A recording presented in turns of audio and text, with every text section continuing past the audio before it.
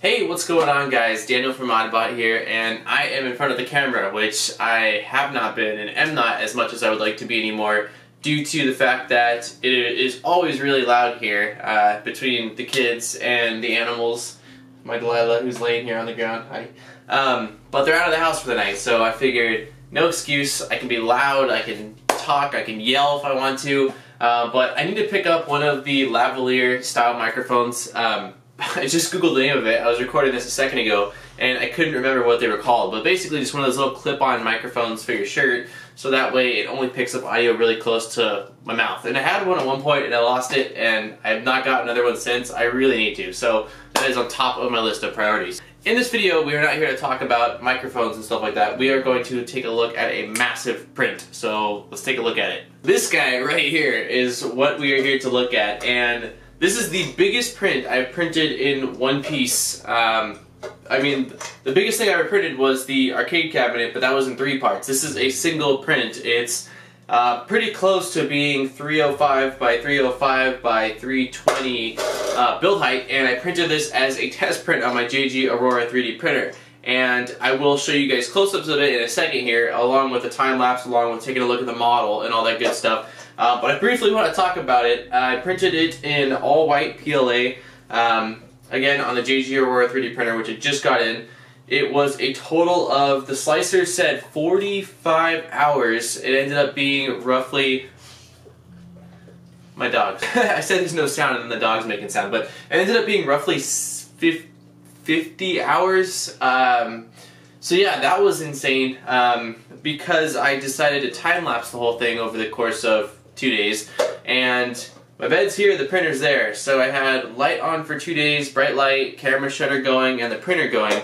And it was very tough to sleep. I didn't sleep as good for two days, but it was a small sacrifice for hopefully a pretty cool time lapse. You guys let me know. Um, but yeah, I figured this was a really cool model to test out the height of the JG Aurora and see how well it would print, and I'm just blown away by the quality of this print. It turned out phenomenal. Um, is actually going to be a gift. It's my mom's birthday in about four hours from right now. So it's a gift from my mom, and I'm actually going to, I didn't get a chance today, but tomorrow I will be masking off the stairs and the tower, um, and I'm going to be painting, spray painting the rocks and the top of this uh, dark gray.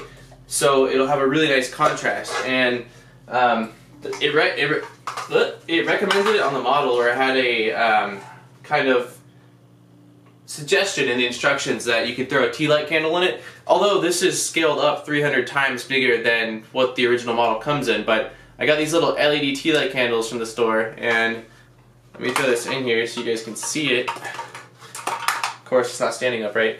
Okay, I'm gonna kill the lights really quick here so that way you guys can actually see hopefully how awesome it looks. And it'll look even cooler with the rocks being really dark, but so you guys can see it. But it looks freaking awesome. Um, I'm like super hyped to get this to my mom because I know she's gonna freak out. It turned out way better than I expected. I was super nervous to have such a long print going. Let's turn the light, lights back on really quick here. Yeah, I was extremely nervous because uh, due to the, its extent of time, I knew that if it failed, I wouldn't have a chance to print the second one before her birthday.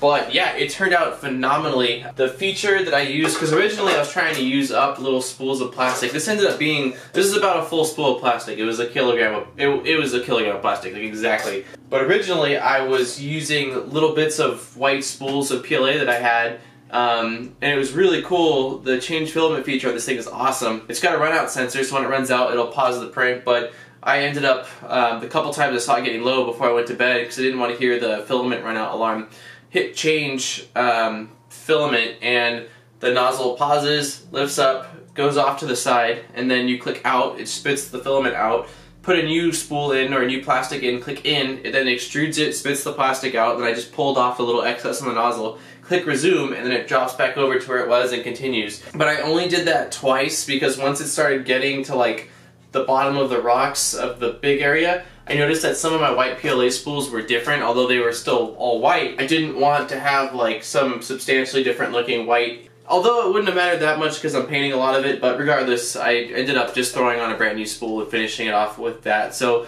I'm going to go ahead and get a close-up shot of this, but I'm super excited. I won't have a uh, shot of it when it's all painted in here, but I'll post that over on either Twitter or Instagram. So if you guys follow me on there, um, you'll be able to see it. If not, there are links down in the description. Or 3D Print Love is back online, which is super exciting, so I'll definitely go ahead and post it on there. But let's get a close-up shot of this, that way you guys can see all of the details on this. So here's a close-up of it. My biggest concern with this print was actually going to be layer shifting as the z-axis went to the higher uppermost parts of the lighthouse, which there was absolutely none of. The only things I noticed at all were on some of the rocks there was stringing, which um, could be things that were retraction settings in the slicer that I needed to work on, or it could have helped if I potentially added a better fan shroud to the actual 3D printer. But overall, it just turned out immaculate. I couldn't have asked for a better print. I ended up printing it at 0.3 layer height to cut back on time. I would have loved to have printed it at a uh, lower resolution, like 0.2 or even 0.1, but at point two, it was looking like 60 hours to 65 hours, and uh, it already went from 40 hours to nearly 50. So I would imagine it would have taken like 80 hours or something like that. And I did print it at a relatively slow speed as well, just because I hadn't used this printer before and I don't know what it's capable of shooting out, and I didn't want to sacrifice quality too much. But here's the file. It's the Forbidden Watchtower, which I found on Thingiverse. An amazing model. I'll link you guys to the description I'll link you guys to the model in the description, excuse me, along with to the printer if you want to find out more, purchase one for yourself. But here you can see my slicer or uh, Cura settings. And I did have to use supports on the cap part of this, but there's a few different models that the developer of the uh, 3D file created. So you can print it in one part with the roof on it already, and you wouldn't need supports if you did that. I opted to not do that, again, because I wanted to be able to throw that tea light candle inside of it. So depending on what you want to do with it, you wouldn't necessarily have to print it in two parts.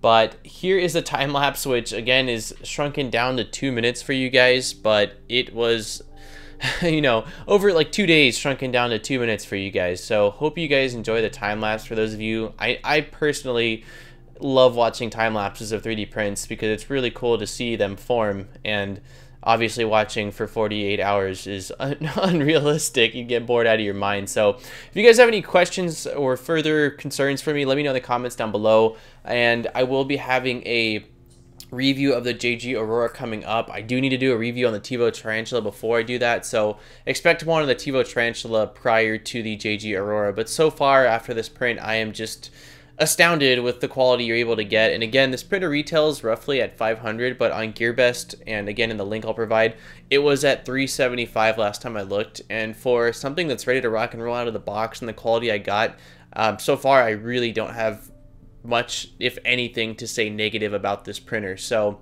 hope you guys are all doing fantastic, and I am very much looking forward to making some more videos for you guys. And on that note, I will end the video and let the time lapse play out for those of you that would like to watch it. Thank you for watching, and I will see you guys next time. Peace, guys.